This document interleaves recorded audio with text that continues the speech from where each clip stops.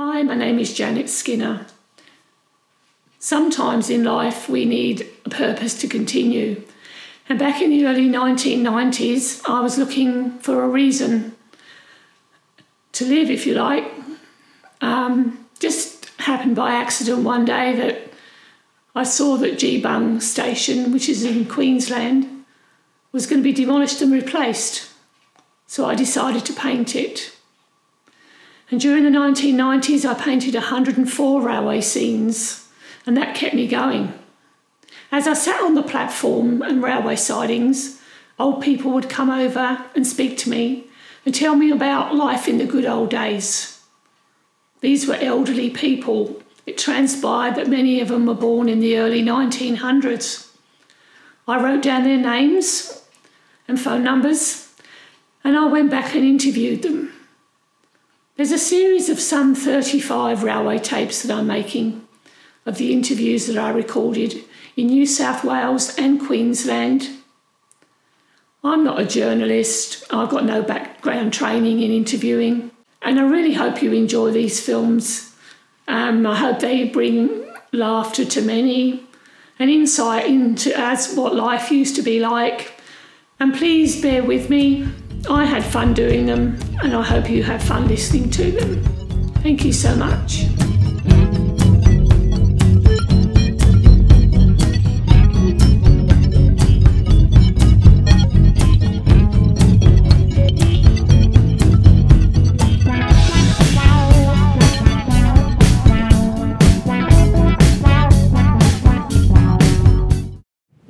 So you've been on High Street, Cornwall High Street in Road. Yeah, the house at the moment that's up there is not as it was. It's been added to. Yeah. It was only a small. They called it a um, a workers' dwelling at the time. Everybody's house was built as a workers' dwelling, similar to what the present system is, where you know you get um, paid, or you, you can pay it off at a at a reasonable price. You know. Yeah. So did your family, did they work for the railway or? No, no. My father worked at Hutton's factory at. Um, that was in, where did you get the information from that the um, the station building was moved from Zillmere to, to That was through my father. See, he worked up at Hutton's at the time, and uh, well, it, it, he um, he worked up at Hutton's when he, from when he left school. In those years, people didn't go to further education. They just left state school and went into a position wherever they could get a job. And of course, the area around here, everybody worked at either Hutton's factory up at Zillmere or down at the brickyards, which was down here at Virginia. And did your dad remember the station being moved? To? Oh yes.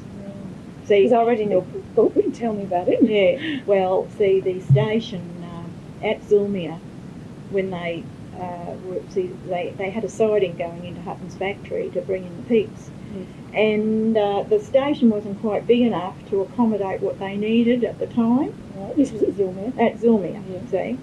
So, of course, uh, Geebung station was only a tiny station, as I told you. It was on one side of the line.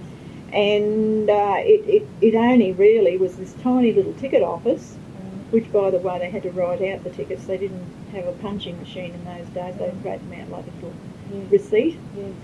And um, so it was decided that the station that was up at Zillmere should be brought down to Geebung. The, the, the little old first station rolled across the line because they took that across the line by with draft horses and and on on uh, like skids and rollers type of thing, you know.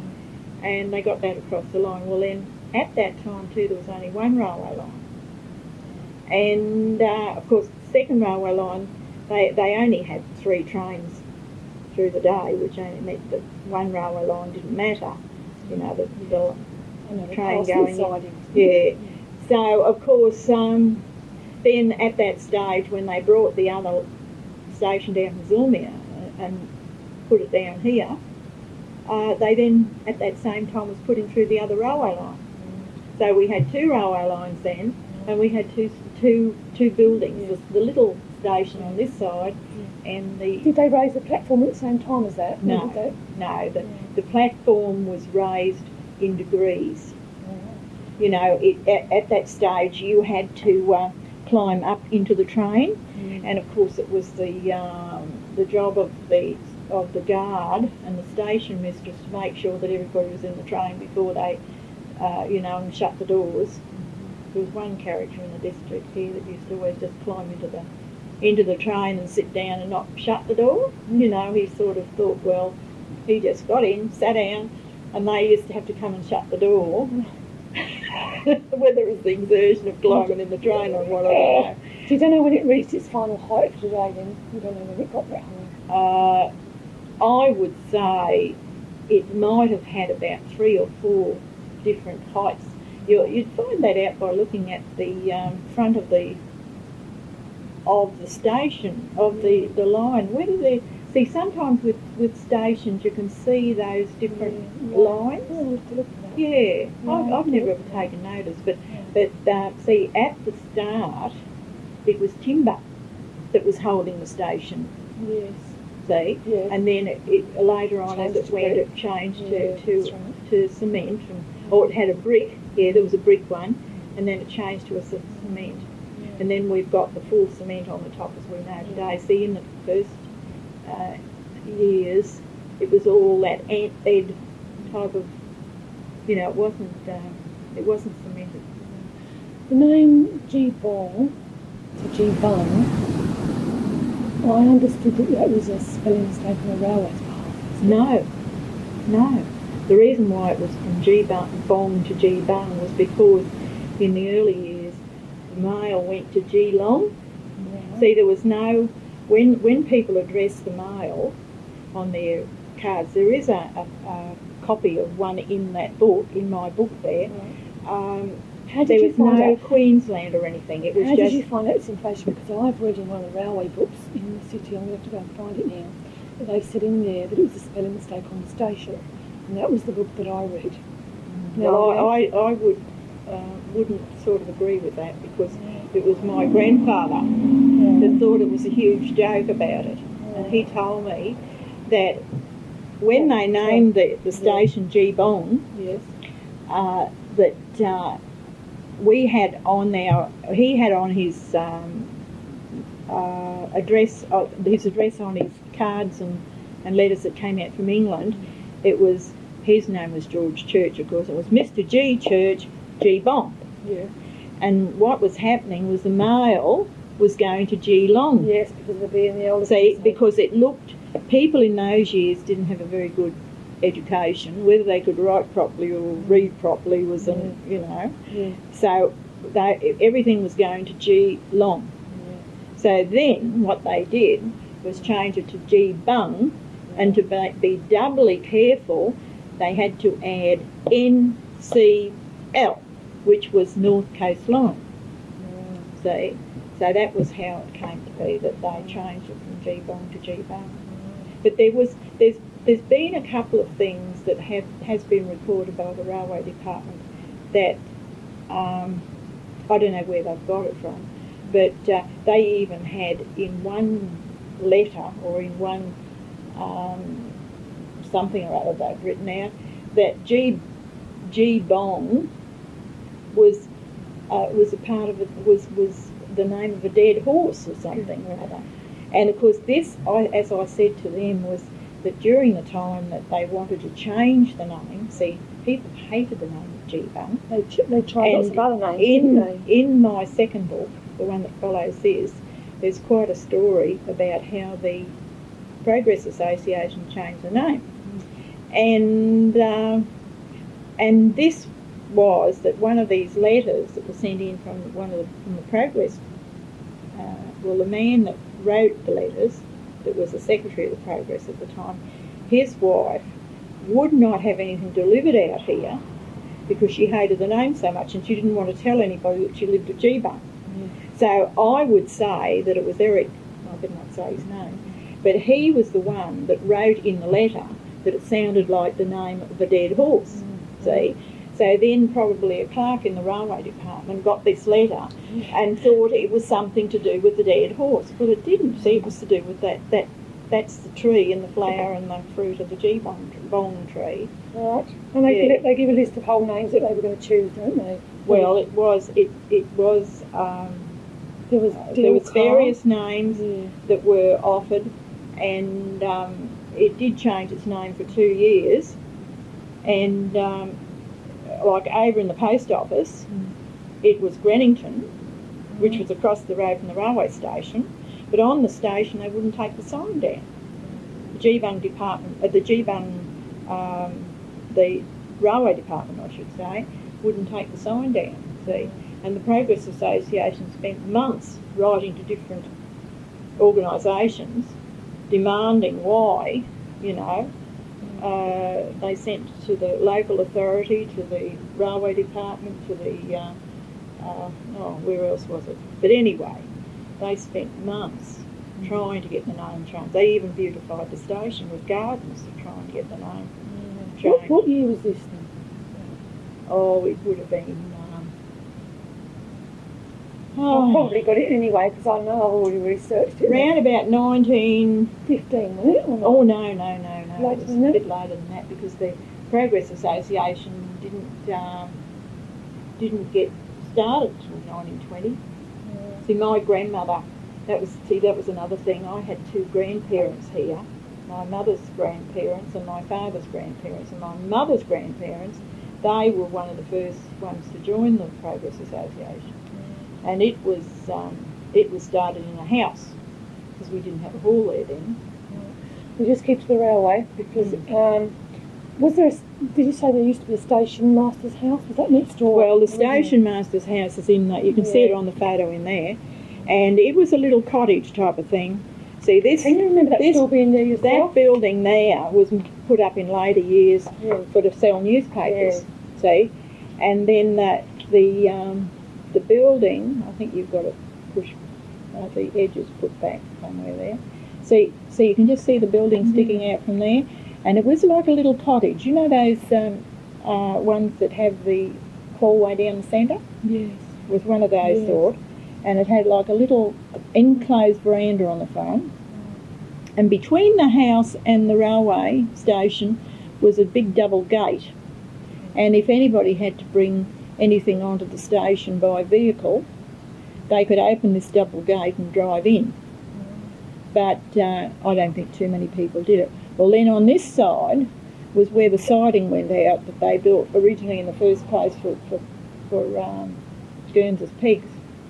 See, Gerns, you know, over here in Buhod Street over the hill, Yes. Yeah, they used to unload their pigs on the Geebung station. Of course, that was another thing that um, they objected to was all these pigs coming onto the station because they didn't like the idea of pigs running around.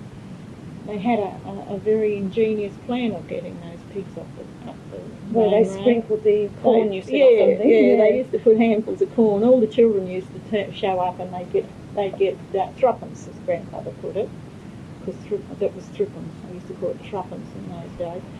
And uh, they put a, a, a handful of corn, you know, up the hill, and of course the pigs would run from one handful to the other, and then they'd get them over the top.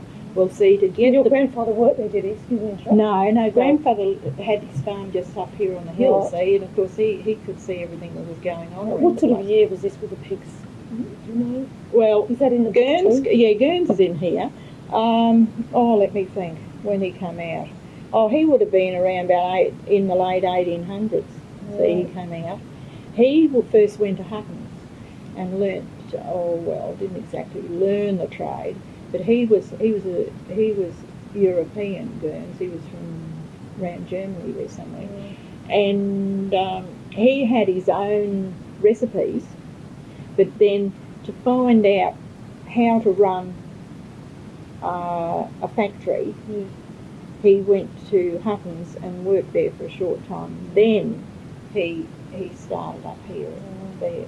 But I have no mention of him in the factory at Huttons, more or less. I've just got it where he established it over here. Yeah. But I was told by my grandfather anyway that Gerns went to Huttons first, learned how, then went, then he opened. But then his family, the family told me that uh, they had their their uh, back their um, Gerns uh, shop in Brisbane, in Roma Street, and then they they expanded out here.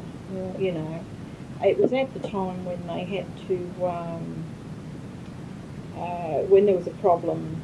Uh, there was a lot of bitterness about Germans and English, especially during World War One.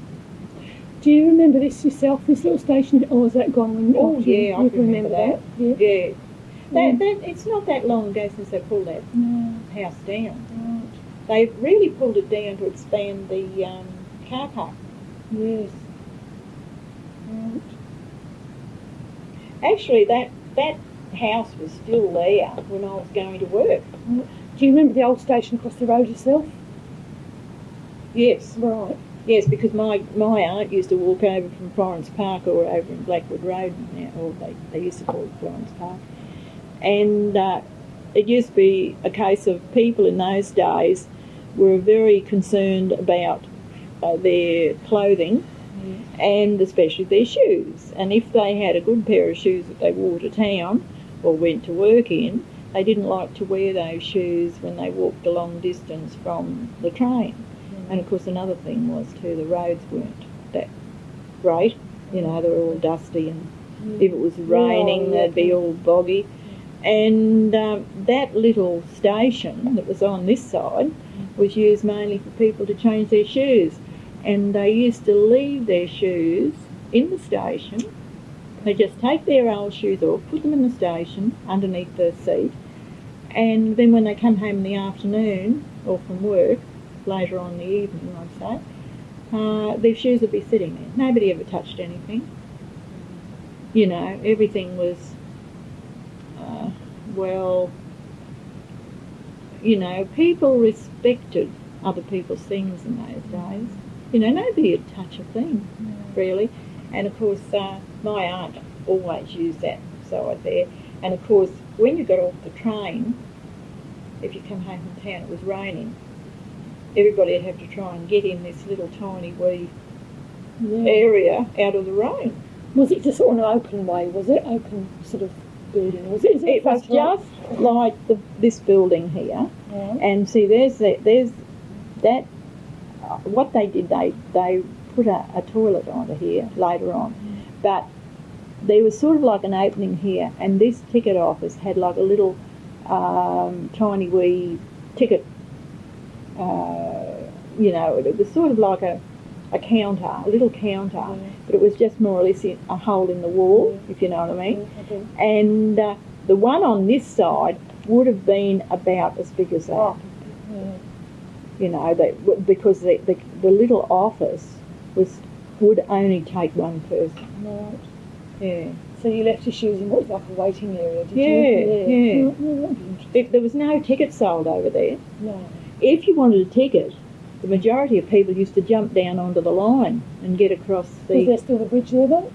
No, no, nobody went would No, even worry about bridge, it no. because there was wasn't that many trains. and uh, there was sort of like a, a wooden, um, oh, I suppose you call it pathway, sort of that went across the line. And then if you wanted the more sedate people, you know, like ladies couldn't get up and down here as good as the men, and you'd, you'd walk around the, the edge of the platform and then come up this side.